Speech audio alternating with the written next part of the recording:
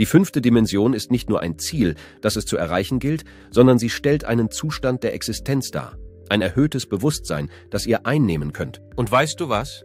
Vielleicht erlebst du diese Dimension bereits, ohne es zu merken. Was sind also die Indikatoren dafür, dass du dich in der fünften Dimension aufhältst? Hier sind einige Anzeichen. Wenn es dir so vorkommt, als ob die vertraute Welt vor deinen Augen zerbricht, dann fasse Mut, denn du bist mit dieser Erfahrung nicht allein.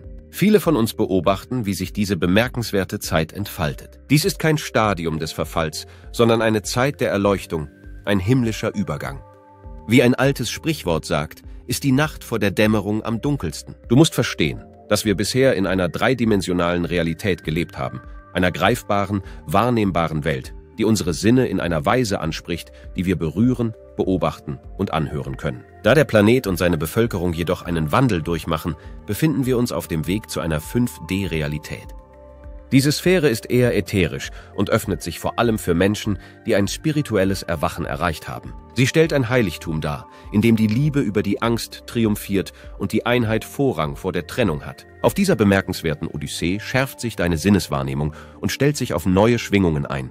Dein Verständnis erweitert sich und befähigt dich, das Unsichtbare wahrzunehmen und das Unhörbare zu begreifen. Dieser Prozess kann mit der Verbesserung der Firmware eures Geistes verglichen werden und wie bei jeder Verbesserung müsst ihr damit rechnen, dass ihr auf einige Schwierigkeiten stoßt oder auf das, was man als Aufstiegssymptome bezeichnen könnte. Die Menschen in deiner Umgebung könnten seltsame Empfindungen, emotionale Schwankungen oder unvorhergesehene gesundheitliche Entwicklungen äußern. Einige mögen dies als merkwürdige Synchronizitäten abtun, doch im Grunde sind sie Ausdruck einer grundlegenden Veränderung, einer Erneuerung unserer geistigen und körperlichen Strukturen.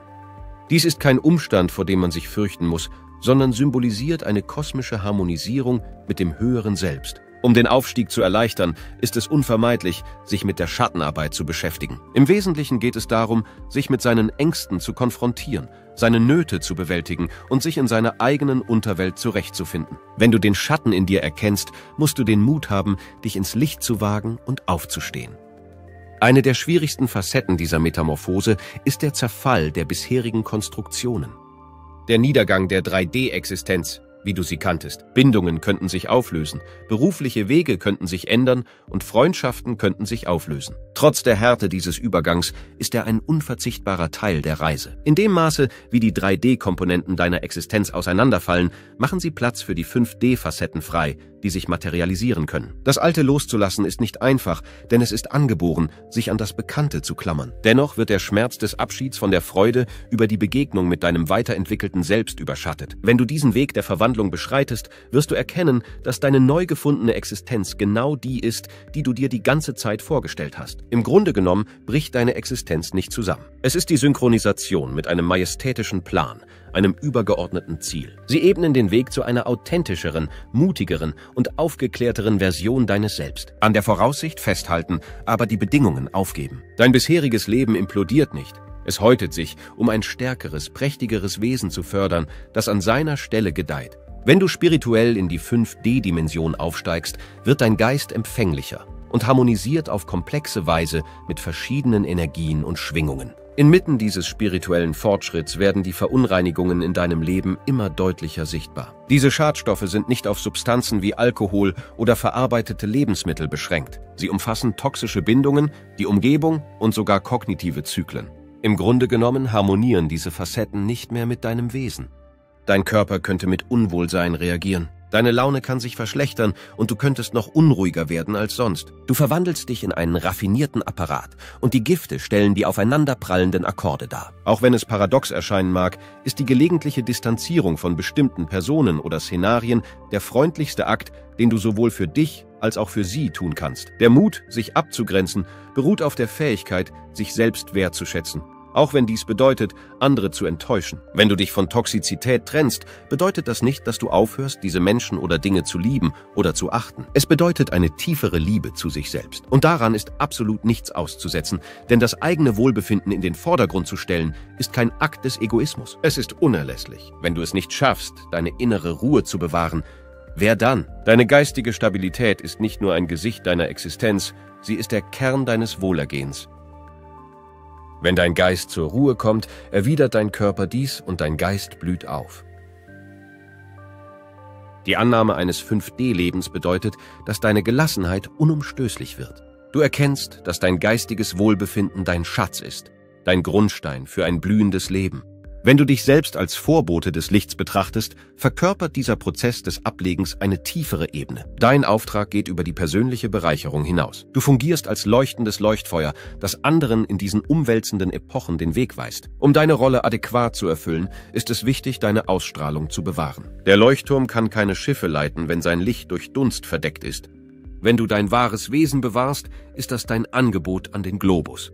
Indem du dich von Negativität distanzierst, erlangst du die Einsicht, die du brauchst, um andere zu leiten. Du verkörperst ein lebendiges Zeugnis für den möglichen Wandel und zeigst den Menschen nicht nur einen besseren Weg, sondern den Weg zu einer höheren, symbiotischeren Realität. Hast du in einer Welt, die häufig von Lärm, Unruhe und einer Fülle von Ablenkungen geprägt ist, eine fesselnde Anziehungskraft auf die Natur verspürt, wie eine geheimnisvolle Kraft, die dich in die Wälder, ins Hochland oder ans Meer lockt? Die Urelemente, die die Existenz von Anfang an genährt haben, locken. Und hinter dieser Anziehungskraft steht eine tiefe spirituelle Logik. Die Natur versteht eure Essenz und erkennt eure Anwesenheit hier als Teil eines größeren Plans, eines gemeinschaftlichen Übergangs in eine erneuerte Erde, eine 5D-Domäne. Sie geht über die malerischen Ausblicke hinaus. Sie umfasst die angeborene Klugheit, die in jedem Laub, jedem Kieselstein, jeder Brandung steckt. Was ist also der Grund für die Aufforderung der Natur? Es geht nicht nur um einen erholsamen Rückzugsort oder einen malerischen Instagram-Schnappschuss. Es ist eine Aufforderung, in dein tiefstes Wesen einzutauchen, dich mit deiner Mission zu synchronisieren, dich zu bessern und aufzublühen. Mutter Erde erkennt die ausgeprägte Leuchtkraft, die du in dieser Welt ausstrahlst und möchte dir helfen, noch heller zu leuchten. Ob du in meditative Momente an einem friedlichen See eintauchst oder auf einem Berggipfel Klarheit erlangst, die Natur wirkt wie ein kosmischer Resonanzkörper. Es passt deine Schwingung an und hilft dir, dich auf höhere Frequenzen und tiefere Einsichten auszurichten. Wenn der Ruf der Natur tief in dir widerhallt, nimm ihn als ein Signal.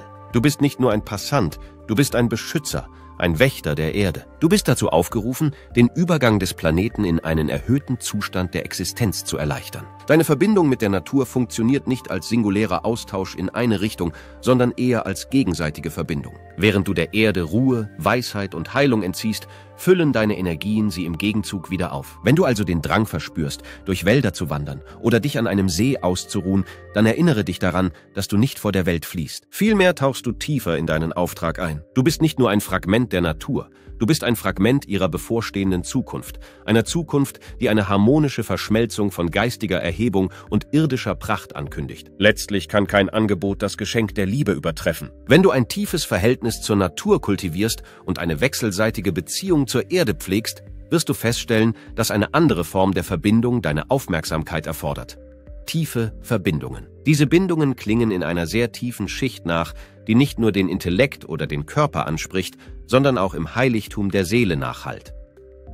In einer dreidimensionalen Welt, die von materialistischem Streben und oberflächlichen Beziehungen beherrscht wird, bleiben die Interaktionen häufig auf einer peripheren Ebene. Bei informellen Gesprächen mit Bekannten, bei Firmenveranstaltungen oder sogar bei familiären Zusammenkünften geht es oft um lockere und sichere Dialoge, um Themen, die den Kern unserer wahren Identität nur streifen. Wenn du jedoch zu einem fortgeschrittenen Bewusstseinszustand aufsteigst, wirst du erkennen, dass diese Interaktion auf der Oberflächenebene den Hunger deines Geistes nicht mehr stillt.